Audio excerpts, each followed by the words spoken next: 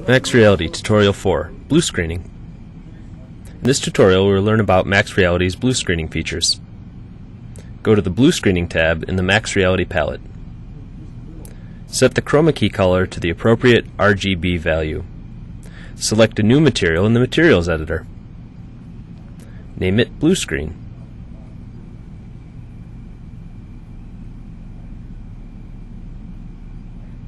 Set the diffuse color to the same value that is used in the blue screen tab.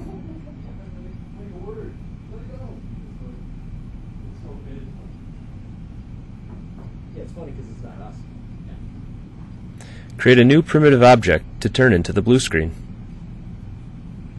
Your camera feed will pass through this object and it will include any virtual objects in its path.